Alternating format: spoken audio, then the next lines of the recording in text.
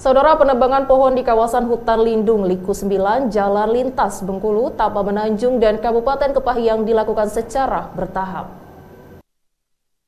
Dari 38 pohon yang terdata rawan tumbang dan membahayakan pengguna jalan yang melintas, saat ini baru 10 pohon yang sudah ditebang. Hal itu disampaikan Kepala Dinas Lingkungan Hidup Provinsi Bengkulu, Sabnizar. Sesuai jadwal Senin 13 Juni 2022, petugas bersama pihak terkait kembali melakukan pemangkasan dan penebangan di kawasan Liku 9 Bengkulu Tengah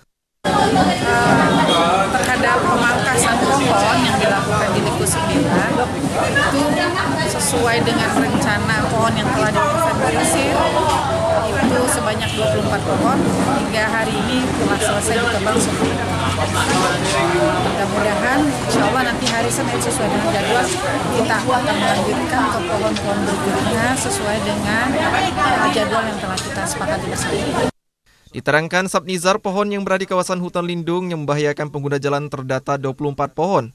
Pihaknya sudah mengajukan izin secara lisan kepada pihak Kementerian Kehutanan, namun karena dalam kondisi darurat, pemangkasan dan penebangan harus dilakukan. Pada waktu penebangan pohon, pihak terkait menutup jalan secara total dan saat pembersihan dengan sistem buka tutup. Kepada pengguna jalan yang melintas supaya berhati-hati dan bersabar karena menunggu waktu selama 30 menit hingga 60 menit. Hasan Basri, Tepir Bengkulu melaporkan.